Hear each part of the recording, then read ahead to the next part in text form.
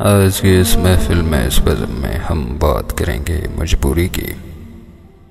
वाजिफ अली वाजिद फरमाते हैं, मजबूर होना कोई बुरी बात नहीं, और सच पूछो तो मजबूर होना कोई अच्छी बात भी नहीं।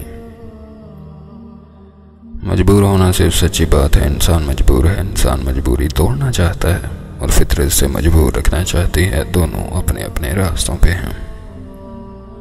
सिर्फ़ इंसान ही नहीं, कायनात का ज़रा ज़रा अपने हिसार में मजबूर है, सितारे अपने मद्दार में मजबूर हैं, सूरज अपने मद्दार में मजबूर है। हर शय अपने अपने मद्दार में रख दी गई है, दरिया की रवानी उसकी मजबूरी है, परिंदों की परवाज, मछली का तैरना, हवाओं का चलना। बारिश का बरसना, पहाड़ों का अपनी जगह पर मेघों की तरह खड़े रहना। आसमां का बुलंद होना गर्ज के हर जात अपनी सिफात के बंधन में है।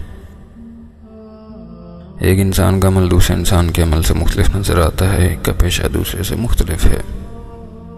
एक की ज़िंदगी दूसरे की ज़िंदगी के बिल्कुल मुखालिफ है, एक का हामिल दूसरे के हासिल से जुदा है। एक की सिफात दूसरे की सिफात से अलहदा है। कदम कदम पर हर इंसान को मजबूरी रोक लेती है। इंसान का अजीब हाल है, ज़िंदगी गैर मुस्तकिल है और इसमें मुस्तकिल रहने की आर्जू इंसान में पलती रहती है। इंसान रिटायर होने से पहले मुश्किल होना चाहता है। इस ज़िंदगी का मिजाज ही बेसबाती है। इसमें किसी को हमेशा क़याम नसीब नहीं होगा। आने वाला ज़रूर जाएगा, पैदा होने वाला ज़रूर मरेगा, लेकिन अपनी मजबूरी में सरजमीन हयात में आज़ादी के गुलाब खिलते रहते हैं। बात एहसास की है, अंदाज की है, ज़िंदगी नसीब में मजबूरी है और इसके मजाज में आज़ादी है। हम ना हमेशा सो सकते हैं, ना हमेशा जाग सकते हैं। ज़िंदगी के अब्दी निज़ाम को खुशी से सबूल करने वाला ही राहत हासिल करता है। ज़िंदगी कठिन और मजबूरी को अहल दिल हजरात, अहल इश्क, अहल मोहब्बत हजरात ज़िंदगी को एक नकमा बनाकर रख देते हैं।